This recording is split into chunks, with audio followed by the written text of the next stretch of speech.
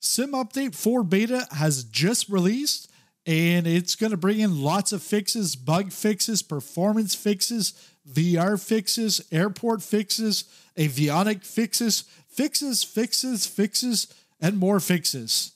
If you want to get into it right away before the full release down the road, who knows when it, that's going to be, but uh, you can do so. I'm going to show you how to do that.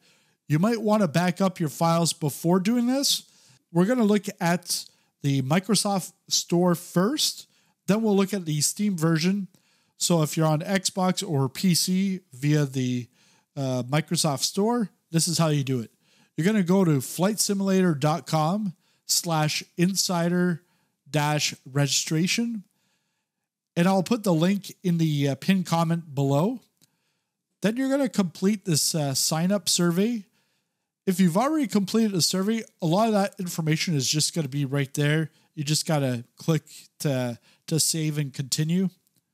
Once the survey is completed, open the Xbox Insider Hub on your PC or Xbox. And if you don't have it already, you can install it via the Microsoft Store. On the left hand side, you're going to choose Previews. You're going to scroll down. You're going to go down to Microsoft Flight Simulator 2024. Then you're going to click Join.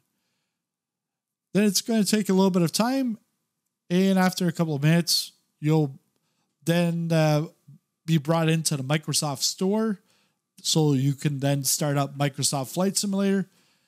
And on the first startup, you'll be able to download the nine gigabytes uh, beta. And once you want to exit the beta, all you have to do is come back to this, to the Xbox Insider Hub, click on Manage, and then remove.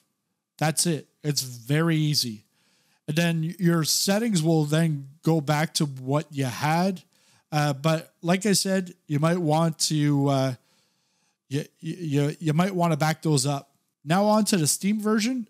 Steam version because I don't have the Steam version, I'll just give you the instructions here. But you're going to open up your Steam library. You're going to right click on Microsoft Flight Simulator 2024, click on Properties, Betas, and then select Flight Sim Beta Sim Update 4. That's it.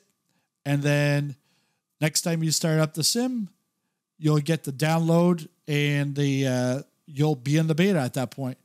Now, if you want to exit the uh, pre-release tests before it ends, all you got to do is go back into your Steam library, right-click on Microsoft Flight Simulator 2024, click on Properties, click Betas, and then select None.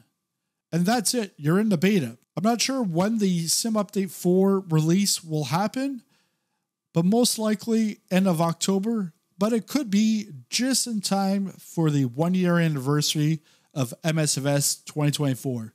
If you enjoyed this video, you'll want to take a look at this video, which is an overview of all the changes within Sim Update 4 beta. Thanks for watching, and I'll see you in this next video.